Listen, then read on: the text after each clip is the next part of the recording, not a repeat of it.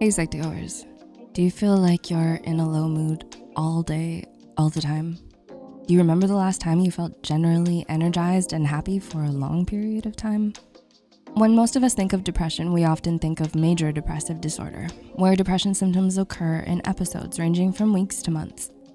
However, did you know that depression can persist for longer periods of time, where symptoms last over the course of two or more years without any relief at all? Chronic depression is also known as persistent depressive disorder, or PDD, and is defined by a continuous depressed mood that occurs for at least two years. In today's video, we will address the signs and symptoms of chronic depression. There has been a huge decline in mental health around the world, which is why we're so committed to creating more content than we ever have. Thanks so much for being a part of our journey. Number one, you are set to have a depressive personality. Do you think that you have a generally depressive, pessimistic personality? Do you or even your close friends or family say that you have a generally depressed mood? Those with persistent depressive disorder can be described as having a depressive personality. If you have PDD, you may experience depression symptoms over the course of many years that start to feel like the norm for you.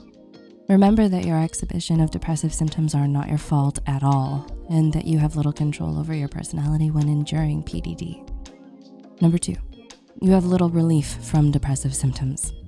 Do you feel like your depressive symptoms are persistent and that you rarely experience relief from them? While those with major depressive disorder may feel normal for long periods of time between depressive episodes, those with PDD almost always experience an underlying feeling of depression, regardless of when they endure depressive episodes. It may be represented as a dark cloud that just won't go away, regardless of how bright or sunny your life may seem. If you never feel complete relief from your symptoms in between depressive episodes for multiple years, you may also have persistent depressive disorder. Number three, you can't recall when you first became depressed. Do you experience depression symptoms and have trouble recalling when you first became depressed? Because the symptoms of PDD are often less severe than those of MDD and usually occur for a period greater than two years, those with PDD often struggle to recall when their depression even began. Your depressive symptoms may feel embedded as a part of your life due to the chronic, mild to moderate depression severity of the disorder. As a result, there may not be an obvious shift from a normal to depressed state in your life. The state of depression itself may feel like the norm to you. Number four, every day feels like a bad day. Do you feel like you know the day is gonna suck as soon as you wake up?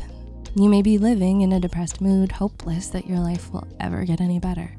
One of the most defining symptoms of PDD is a low, sad mood on most days and a persistent feeling of sadness or loss of interest in hobbies or daily activities. Those with PDD have little to no relief from their symptoms and often experience a lingering sense of depression that almost never allows the day to feel enjoyable. And number five, you feel fatigued and unproductive. Over the course of multiple years, have you been feeling like you consistently have little energy throughout the day? You might even feel unproductive and blame yourself for being lazy. Carrying out tasks you need to do, such as brushing your teeth, getting out of bed, or going grocery shopping, may seem insurmountable. Mustering the energy to overcome these tasks can feel impossible. Those suffering from PDD may experience these symptoms over the course of multiple years and subsequently feel critical of themselves for being unable to deal with various tasks. In addition, fatigue from depressive disorders may stem from irregular sleep patterns, including insomnia and hypersomnia. If you've been experiencing these symptoms for two years or more years on a daily basis, you may have PDD. Can you relate to the signs listed above?